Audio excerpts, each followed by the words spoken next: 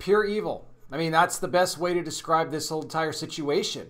And, you know, this has very eerie resemblance to what we saw when people were getting denied, you know, different organ transplants and all that because why? They refused to take the vax. And, and now, criticizing a flag apparently now warrants you losing your ability to receive cancer treatment. We're going to dive in and discuss all of it here in just a second. Welcome, everybody, to Not By Sight News. Yes, a blind Christian guy here reporting to you on the news of the end times and so much more. Thanks for spending part of your day with me today, reminding you as always we walk by faith, not by sight. And well, for someone like me, that's kind of my only option. Hey, do me a huge favor as well. Hit that like button, it really helps us in the algorithms getting these videos out to more people. Share the video as well across all your platforms. Hit that bell, subscribe. Yes, wear the glasses because I'm blind, not because I'm trying to make a fashion statement of any kind. And if you guys could as well, consider making a generous donation here to my ministry to help support what I do. Couple of ways you could do that. One, simply click that super thanks button down below on this video here. That is how you can tip me with a one-time donation. You can select any amount you want. Really easy to do here from the main video page. Or join my Patreon for as little as five bucks a month. Patreon.com slash not by news. Link in the description. When you guys sign up to the Patreon, you get exclusive early access to these videos before they ever hit the main YouTube channel. You're also going to get the alerts for all the videos, which is not something you're going to get with just the YT notifications. You can comment censorship free on all videos and send me direct messages. So I encourage you to check it out. Patreon.com slash not by sight news, link in the description. Big thank you to everybody already contributing and those thinking of doing so. Thank you as well. Your generosity is greatly appreciated. You know, this is just outright evil. And uh, for one woman here who lives in Oregon, um, her name is just going by Marlene. Uh, she's obviously being protected for you know her own safety at this point because uh, in the light of which this whole entire situation has really evolved now and turned into. Marlene had been receiving cancer treatment at the uh, Portland Health uh, and University Hospital and well the Health and Science University Hospital and everything seemingly was going fine until it wasn't. Now here at this hospital, you have to understand right upon entry, as soon as you walk in the main entrance, there it is on display for everybody to see the trans flag. And well, Marlene took exception to this. She did not like the fact that the hospital was promoting that entire agenda, and she sent several messages to the hospital criticizing them for having that flag up there, and she wanted it removed. Now, again, this is just her voicing her, you know, opposition to a flag. She doesn't think it should be on display. Let people come into the hospital, get the treatment they need. Stop trying to promote an agenda. I know. What a horrible crime on Marlene's part to do that, right? But that's not what the hospital.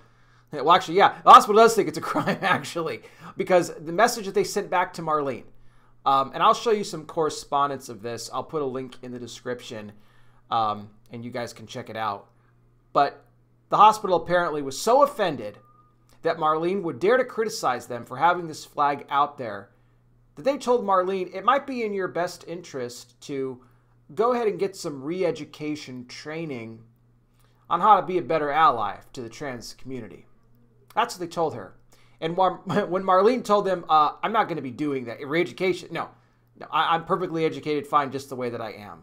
Well, the hospital said that I think it would be in the best interest of both parties if we just stopped your cancer treatment altogether and you seek treatment somewhere else. See, this is where we've gotten now. Remember, I said this at the top. Remember, people were getting denied organ transplants, right? Whether it's kidney, liver, whatever. And I reported on a bunch of those stories. And by the way, that wasn't just the United States, that was all over the globe, right? People that had been on, you know, waiting lists for months, years, waiting on an organ. Their names just taken off the list because they didn't want to get the vax, right? Hospitals would not budge on this. Terrible what they did, right? Denying life-saving, you know, you know, medical treatment here, procedures because you wouldn't get a vax. But now we've come to the point where if your ideology doesn't match up with a certain hospital, you're going to be denied life-saving medical treatment as well. That's where we are. That's that this is now not just America in 2023, but the entire world in 2023. Okay? Now, Marlene is seeking legal options, and I rightfully so. I hope she sues this hospital into oblivion for it. And apparently, she's getting all sorts of other threats and everything else like that from people in the trans community because she dares to speak out about how having the flag there at the at the entrance of the hospital is wrong. What, you can't take someone else having a different opinion? It really hurts your feelings that bad because of it. And now this woman, and I don't know how far along she was, but cancer's no joke.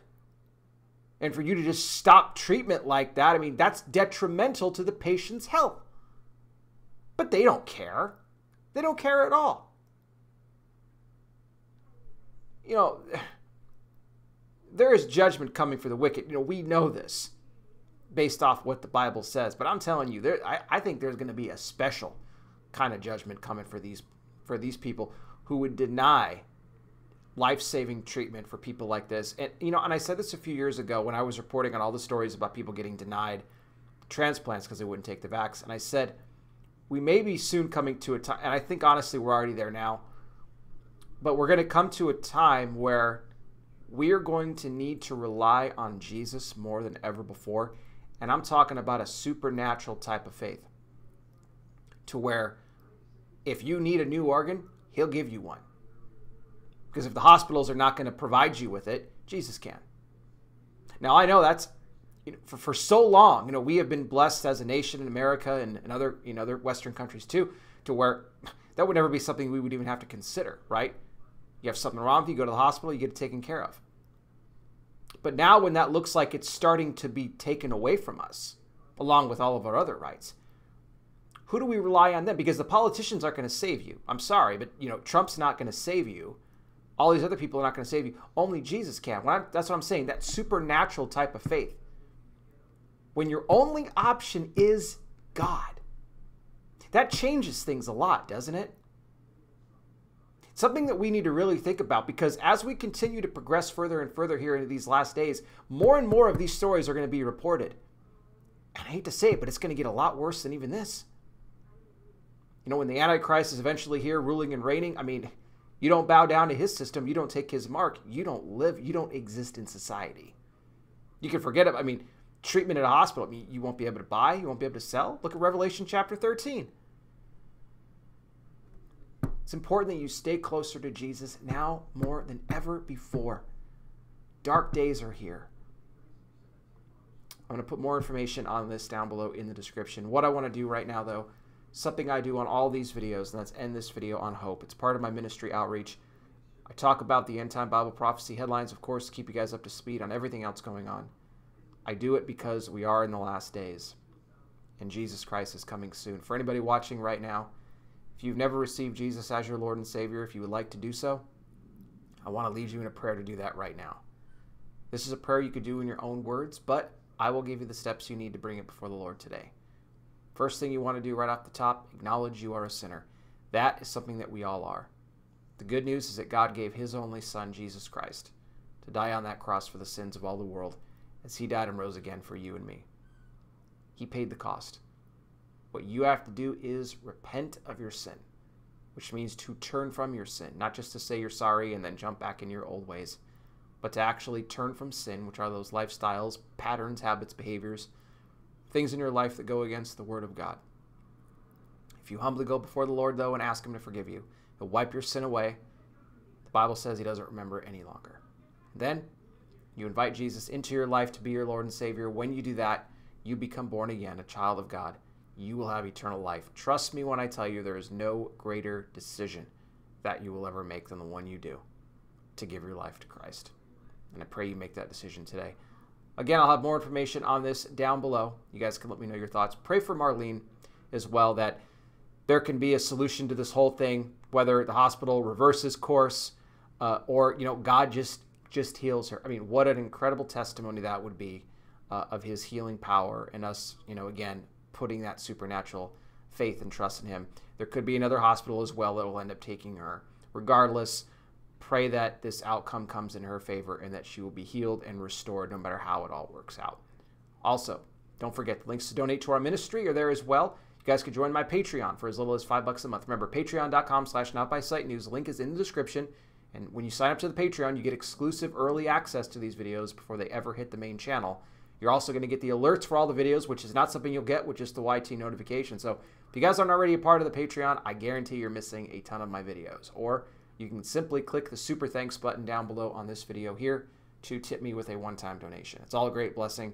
Thank you all again so much for watching. I really do appreciate it. I'll be back with more. You guys take care. Please be safe out there. God bless each and every single one of you. I'll talk with you soon.